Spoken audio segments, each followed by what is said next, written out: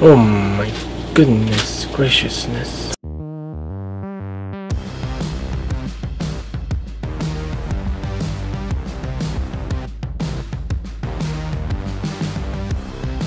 Okay, Deadly Tarantula Girl coming to you from my private serpentarium. Ugh, I'm getting a headache. Is your hair still up? Yes. Yes, Deadly Reptile Man. Do you have a question? Yes. Let your locks flow. I have a question. Yes. Why is that so fat? Why is that so fat? Question of the day. Viewers, leave your responses for why that is so fat. Because they're gluttonous. Have you ever seen one of these guys eat? They're cray cray. so a lot of times, so let's say I dump a dozen crickets in there. They'll get one in their pinchers, one in these legs, one in these legs, and they'll wrap around it and then they'll just go gobble them up. Oh, sounds dangerous to They're me. opportunistic feeders. They're insectivores. They're carnivorous, and the fatter and juicier the little bugs are, the better. Okay. There you go. There's your answer. I'm doing a quick unboxing from Color Morph Creations, Ed Velardo. So this guy's out of California, I would assume, since it says 707. I'm a Cali girl. So this whole package was sent to us thanks to Earl Jones, Lone Star Reptiles. He's the man. Anyway, so this company is making wonderful tub liners. They claim that their liners are 100% recyclable, biodegradable, virgin, natural paper. I just got these two beautiful Scolopendra heros castaniceps. People call them red-headed centipedes. So we have this beautiful specimen here. It is quite lovely. Delivered to us by the beautiful Hank Thaddeus yeah, so additionally, she's probably such a girthy gal because I'm hoping that she's full of little eggs. I have a medium and a large arboreal enclosure. So say why, Deadly Tarantula Girl? Why arboreal? This is a terrestrial species. Why Deadly Tarantula Girl? They're born with... What? Did you hear that? He wants to know why I'm going to put a terrestrial species in an arboreal enclosure. So, really awesome. He and Earl hate that I use newspaper. So, yes, he sent me some liners to try. so, this is the V18 size. It comes pre-cut, which I love because who doesn't like to clean in a hurry?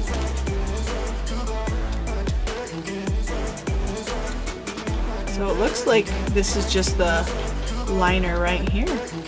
Try not to, making sure I don't damage them. I think that's, this is, these are actually the liners right here. Oh. I'm a terrible cutter, if you guys haven't figured out. Okay. So, yeah, this is, these are the liners right here. So I don't know if this is normally how they come, just kind of, ooh, look at that. It's pretty thick. I kind of, I don't know why I was visualing like more like a tissue paper. This is pretty thick, so I would imagine it's pretty absorbent. I like that this it's big enough to have like a little lip on the side. Very nice. Oh, here's my water dish. I will tell you why, since you wanted to know so badly. Um, don't mind my accent.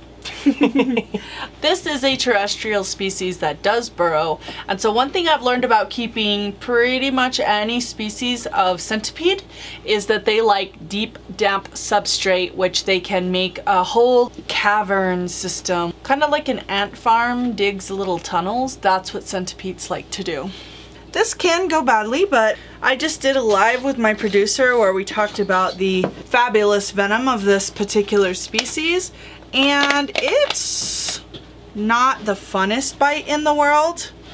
So look at that. Are you feeling super comfortable right now, Deadly Reptile Man? He's super comfortable right now. Nyeh. So, uh, yeah, centipedes are pretty crazy. See, they climb with all their happy little feet. Some people say that their feet envenomate you and that is not true. Although their feet do have little grabbers on them so they kind of like will pinch into you. I already felt it. with all their little toes. Okay, come on, bugger. Come on, bugger. When you do see a wild caught specimen, Oh my um, they can have mites on them. A lot of times they're missing appendages. Usually they can live just fine that way. So because we just prepared the substrate for them, it's nice and damp. So I'm not even gonna water, gonna kind of let them settle down and then I'll feed them either later tonight or tomorrow. So here comes the fun one. You wanna do this or you want me to have it? I'll let the experts do Okay. it. So I'm just gonna throw my uh, Mojave Yellow Belly baby on this liner. And this lovely lady is one of my holdbacks. And uh, isn't she pretty? What do you think, Oh. Deadly Reptile Man? so gorgeous. So gorgeous. I want to court her now. All right. Well, uh, if you ever want to come visit her, she'll be nice and clean on her new substrate. She's gonna go into my V18 rack. Yes, thank you, Deadly Reptile Man. If you would just. Um, and I know that um, some of you have fancy label makers, but I started using folded up scotch tape back in the day. Hey, what's up, girl? Hi, honey.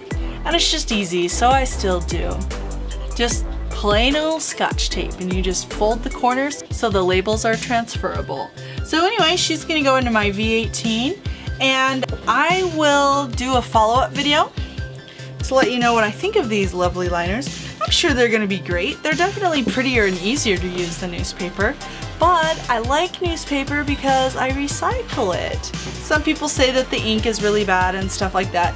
I've never had an issue with it, but I don't know, maybe that's like saying McDonald's won't kill you because you haven't died yet, and so you just keep eating it, and then boom, heart failure. Yeah, Ugh. I know. Oh, feeling. I actually ate a basket of fries this weekend. Not a whole basket of fries, but most of a basket of fries. So um, be watching in the news for my heart attack.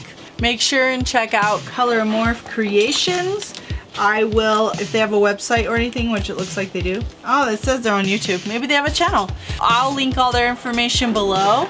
And so what's your favorite sinful food? Big Mac. Ooh, juicy. Yep. So uh, this is a one gallon enclosure and she's just taking a nice little nap. Oh my god. See how easy that was? She barely even woke up from her nap. She's crawling around, not really crawling around. Oh my goodness graciousness. So she's not being very active, which she kind of tore the wet paper towel up right away. So she might have been dehydrated. Also, she might have just been sprayed with uh, some kind of pesticide or something. She might be dying. So I'll keep a close eye on her.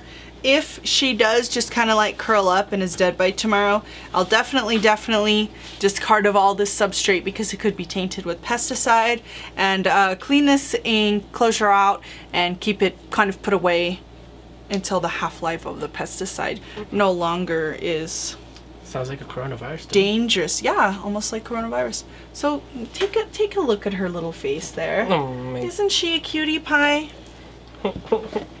Okay, thoughts on Scolopendra Heros Castaniceps? Creepy. Creepy. Yeah, so you're you're in agreement with 99.9% of the world's population. Personally think they're really amazing and incredible. So here's the neat thing about moms with offspring. They actually lay all their eggs. They wrap around them. They don't make a cocoon. The eggs are just in a little circle. And every day, so they stay wrapped around them, they get each one and they clean it off and turn it mm. and they guard them. So they make a circle and they keep the eggs in the middle. And it's really cute. Sounds like a snake doing her thing. Kind of. Yes, reptiles don't usually clean their eggs, but they do guard them. Well, some species guard them. And yeah, they they temperature regulate and things like that. So that was a uh, centipede rehouse. Yes, right there. So let me know if you have any questions and we'll see you guys soon. See ya.